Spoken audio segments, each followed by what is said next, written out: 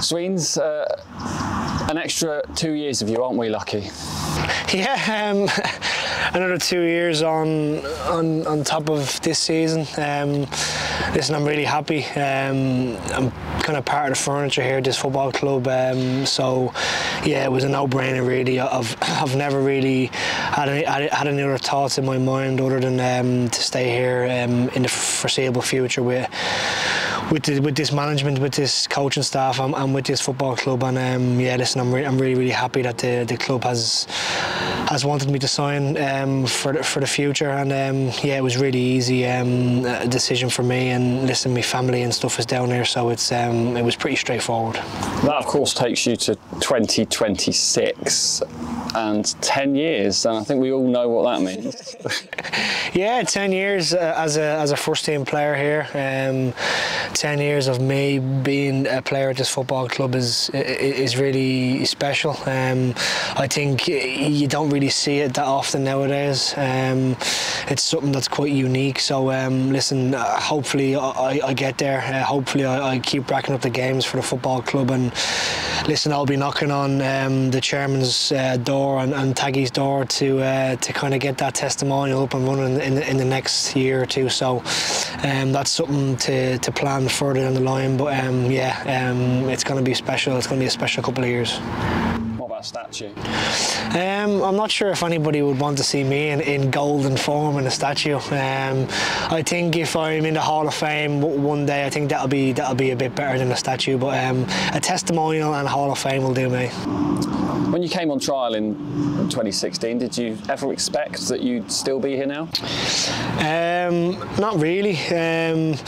I think if if anybody comes from a, a championship club on trial, a, a League Two club, um, they don't really expect to stay here that long. Um, no disrespect, they always expect themselves to, to get a move or, or bounce on again and, and, go back to the championship or, or whatever. But um, I've been pretty happy here. We've we've, we've had some successful teams, um, some really good teams um, that didn't get promoted. Um, I've met some really really good people along the way and.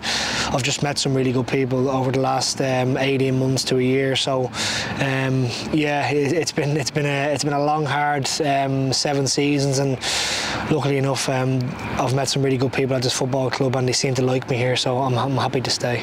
This club has changed so much in the time that you've been here, from the stand at the, at the stadium to the training grounds to, to a new league. I mean, you've been there through it all, really, haven't you?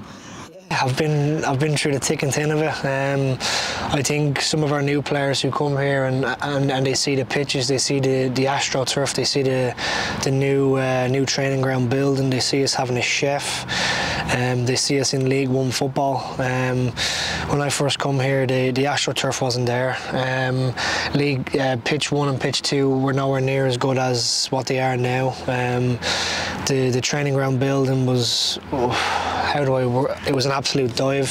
Um, I don't know how they lasted so long in it. Um, and the stadium wasn't anywhere near the level that it's at now. So it's it, it, it, seems like every season the club is is taking a step forward um, on and off the pitch um, and I think the manager and, and, and the, the coaching staff and the, the people around him he's brought in is driving that um, they're driving the club forward in the right direction. And, and listen, there's still there's still an awful long way to go. Um, I think I think the club has more potential to hit, and, and we're capable of doing that.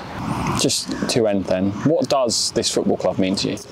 It, well, it means a lot. Um, I think when you when you've been at a football club for so long. Um, you kind of almost become half a fan. Um, I have obviously have my own football club I support, but I think when you've when you've played for, for a football club for for 320 odd games, um, you come you come attached. Um, you come attached to the fans, the little kids who are in the stadium running around asking for photos. So, and listen, I know pretty much 95% of the people who who work behind the scenes at the stadium in the community trust and stuff. So, it means a little bit more probably to me than than some someone who's been here for for two weeks or two months. So um, I kind of have to step into that role now and kind of give people knowledge of what this football club is about, and that's something the manager wants me to do, and, and, and, I, think I'm, I'm only getting better at doing that. So, yeah, it, it means an awful lot to me um, for, for my family to, to live down here. My kids are born in Exeter, so it, it means something something a bit more special. I look forward to two and a bit more years of interviews. And me.